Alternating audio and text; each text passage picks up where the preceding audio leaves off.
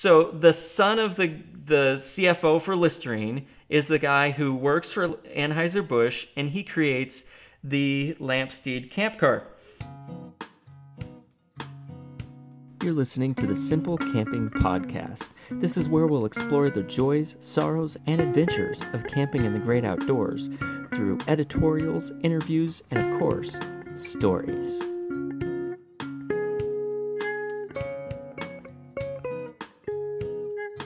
Hey campers, Mark here from overlandtrailer.com, and this is episode 15 of the Simple Camping Podcast. 15 of these things.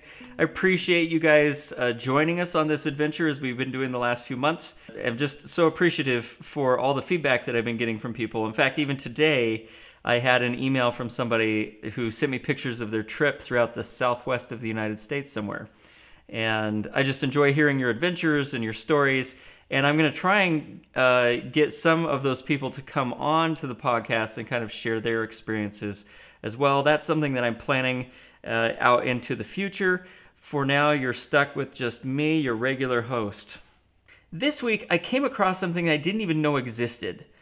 I was cruising through the Craigslist ads, looking at RV ads, like I shared in a few episodes ago uh, to just kind of enjoy the humor of people's poor writing or the humor that they put into their good writing. And I came across an ad that kind of blew me away. It is for a 1921 camper that is on the back of a Model T that was made by Anheuser-Busch, the brewery, in 1922, according to the ad. And this got me very curious. This thing is actually for sale, and it is about six miles from me right now. I actually called the uh, owner up, and I'm going to try and get over there and get some footage of it because there's only two of these in the world, and there's one six miles from me. I have to go see it. So if I do actually manage to get to see this thing, I'm going to take a camera with me and and just kind of give everybody a tour. So if that if that happens, I will be sharing that with you on uh, YouTube, and I'll probably also announce that it's there on this uh, podcast. So it got me interested. I'd started to dig into Anheuser Busch a little bit. I didn't even think about. I mean, who would think of Anheuser Busch and camping outside of just like taking a beer on your camping trip? You wouldn't think of Anheuser-Busch in the industry of camping, but they had to make a big pivot in their history as a business. And uh, in order to remain relevant, one of the accidental outcomes was that they ended up making these campers that I'm going to tell you about. So, a uh, little bit of backstory on Anheuser-Busch. Anheuser-Busch, of course, uh, the brewery, they rely on their product being in grocery stores, in general stores. In the early 1900s, they would have been in the mom and pop shops. They would have been at the pubs and all those other places. And so they needed some sort of way to convey their beer from one place to the other, which had always been done with wagons. And they'd throw all the kegs on the back and they'd strap them down and, you know, there they go with their horses. But with the advent of the automobile, in the early 1900s, they decided they were going to reach out into the edge, the cutting edge of things, and they ordered a few trucks. And what they did, the General Vehicle Company of Long Island, they was the one who made their first trucks for them, and they were 24 feet long and 10 feet wide, and they had a capacity of carrying like 30,000 pounds of brew. So they're giant trucks, and they didn't work out. They were just too big. Like there weren't a lot of paved roads at this point. These things are heavy, so they're sinking into the ground. But not only that, but just getting around with them in a city like New York or Chicago, anywhere that they were serving, you know, Anheuser-Busch, they had to drive these monsters through traffic of horses and people and bicycles and all sorts of things that were going on in the cities. And so they decided to downsize and they ended up getting significantly smaller, three and a half ton um, electric trucks. And so these are still big trucks, but they are a lot more manageable. And then they uh, started to build up a fleet. In fact, they started their own automobile, uh, basically shop that they would buy the chassis from Ford or Chevrolet, and then they would modify them uh, to fit their needs for delivery. By 1909, Anheuser-Busch had a fleet of trucks delivering their goods all around the nation. They had about 45 to 50 of these machines that were out there delivering Anheuser-Busch. Now that's 1909. What happens though is in 1919 there's a bit of a shift in American culture. There's World War One's going on. We have women's suffrage being battled, and at the same time, there's been this ongoing debate about should we allow alcohol to be a legal substance in the United States. The ironic thing in history is there were a lot of men who, at the time, were the only ones allowed to vote, who said we should we should not allow women to have the right to vote um, because they will vote to make alcohol illegal. Uh, that was a very minor point in my in fighting women's suffrage, but it was a point that some people made. And what's ironic about it is that the men voted to prohibit alcohol, and then they voted to allow women to vote, which was kind of self-defeating for those people who were arguing that the alcohol would be outlawed by the women. What's also interesting is when alcohol was legalized again it was the, the majority of the women voted in favor of it. In 1919, in St. Louis is where Anheuser-Busch officially got its name Anheuser-Busch. It had been uh, the St. Louis brewer, had been a couple of other names along the way, but they finally settled on Anheuser-Busch in 1919, just after World War I and right at the beginning of Prohibition. Now, for a brewer, this is the government messing with your business in a massive, massive way, for which I'm thankful the government doesn't do to any business anymore today. Little tongue in cheek there. But Anheuser-Busch, for the first time in their history, started to post losses. And I looked up their, their earnings reports. And these are in the dollars of the day. So this is not current numbers as far as like what it would be worth in our money now. But in 1919, they made basically 2.5 million dollars in sales. I, I want to give you a little bit of perspective here. The average household income in 1919 was less than $1,000. So to have 2.5 million means they're rather successful, very successful. In 1920, which is one year later, they had 1.5 million. So they lost a million in profit in one year.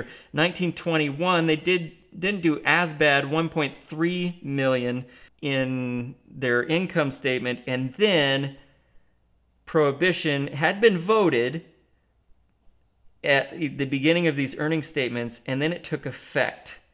So in at the end of 1921 prohibition kicks in and no longer are Americans allowed to buy alcohol. So Anheuser-Busch in 1921 had an earnings report of $1.3 million in profits. Yes, they were declining. People were afraid of, you know, what was coming uh, with this new vote. And in 1922, they had a total earnings of $218,000. So they went from 1.3 million to $218,000. A massive, massive blow to their company. So the question though is, and this is what I looked at, I was like, wait a minute, prohibition kicked in, their earnings should be zero in an ideal case. We now know like prohibition was an experiment and for the most part totally failed. I think was, there were a few towns in Kansas that were completely dry, but I think the rest of the nation in some capacity had alcohol around, even Congress members. so, so I, I asked like asked myself like how did they make two hundred eighteen thousand dollars? And so then I started digging into the business a little bit more, and they had started to pivot.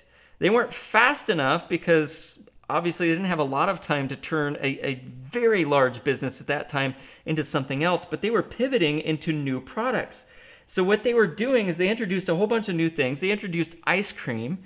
They introduced yeast. They used a ton of yeast in the brewery, so they are now starting to sell yeast. It was not illegal to sell the yeast so people could brew their own.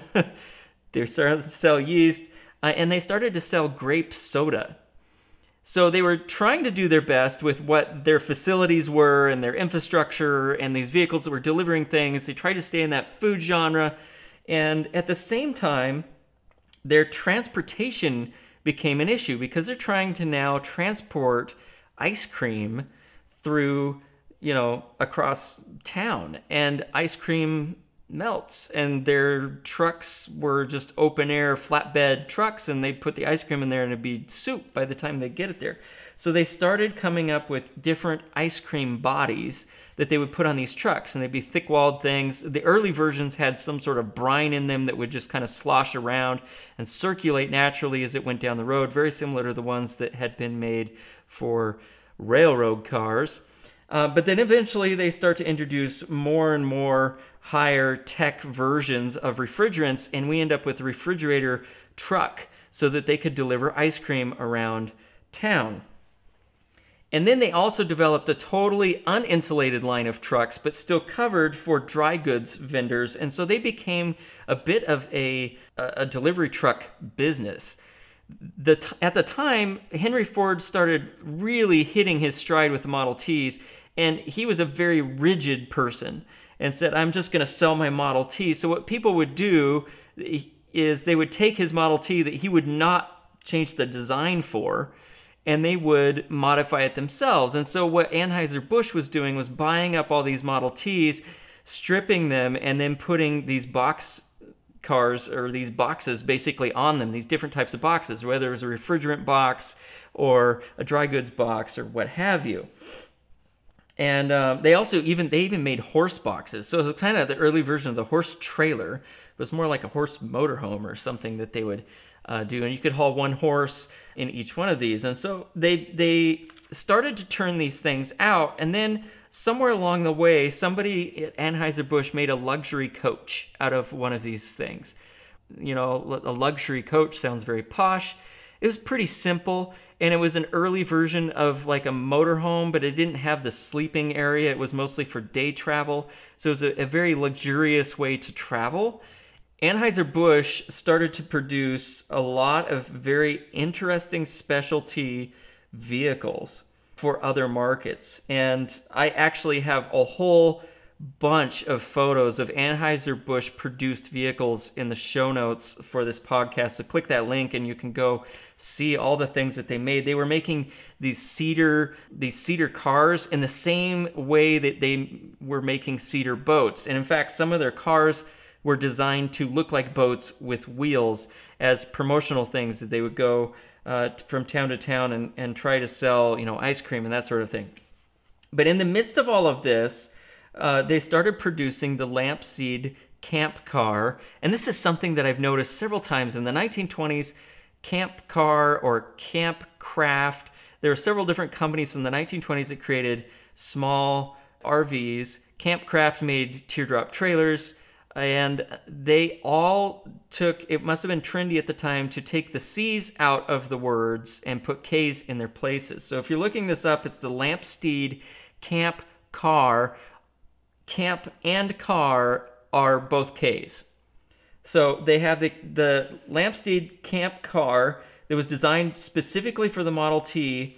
And this is where things get really crazy. It was designed by uh, Samuel Lambert, who was the son of somebody quite famous, Arthur Lambert, who was the treasurer. We would now call them the chief financial officer for uh, Lambert uh, Pharmaceutical, basically, and that is the company that invented and created Listerine. So the son of the the CFO for Listerine is the guy who works for Anheuser Busch, and he creates the Lamsteed camp car. It was it was originally designed as a CKD, is what they originally called it, a completely knocked down kit. So the idea was that you could buy this kit, they could package it up on pallets. They could throw it on a train car and ship them anywhere in the U.S. And you could buy them for uh, around $500.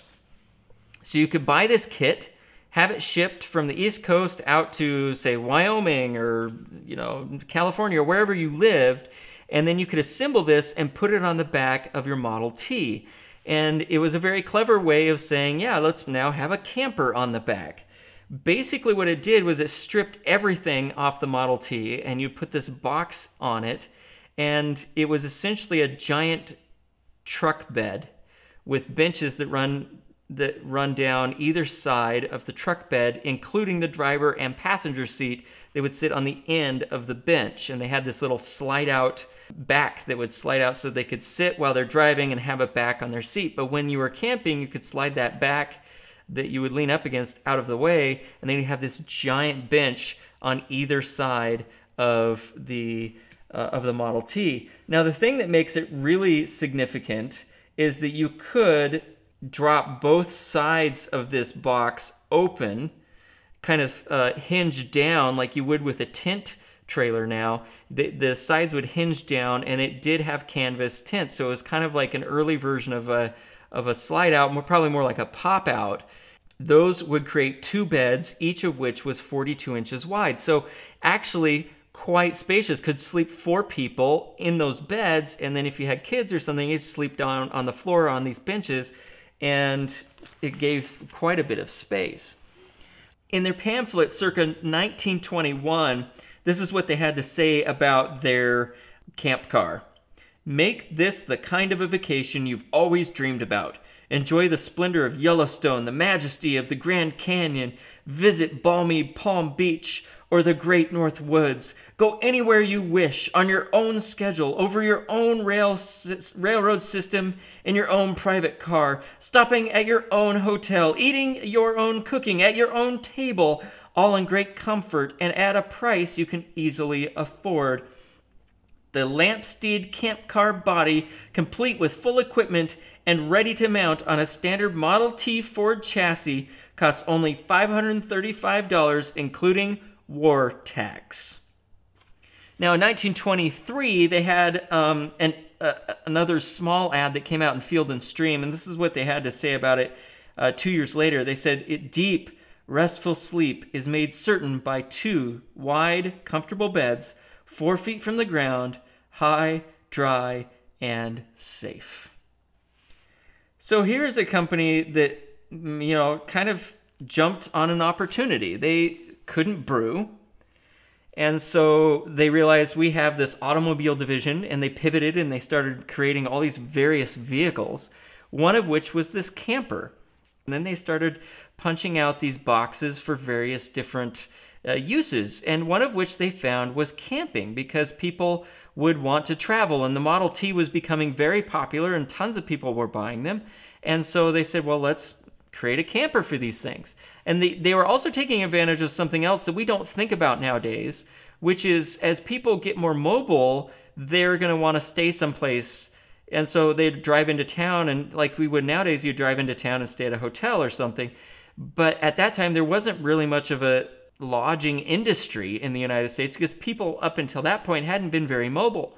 And so now people are traveling, but they have no place to stay. So the camping vehicle was like the ideal situation to solve the problem. And the idea of saying you're in charge, you can set your own schedule, you can be your own railroad system, you can cook your own food in your own bed and, and still be out and traveling was just amazingly good marketing.